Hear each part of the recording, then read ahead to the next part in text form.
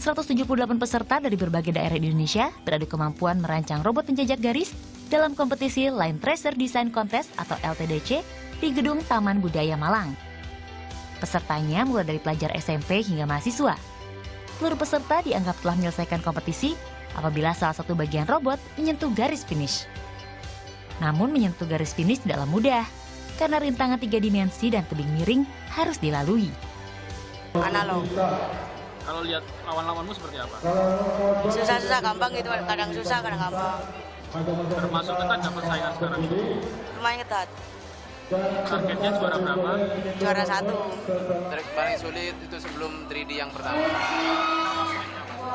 Sulitnya itu apa namanya? Dari segi belokannya itu mas. Dari belokannya itu sangat pengaruh banyak. Ketika kita memasang banyak delay, kita robot kita nanti akan bisa melenceng.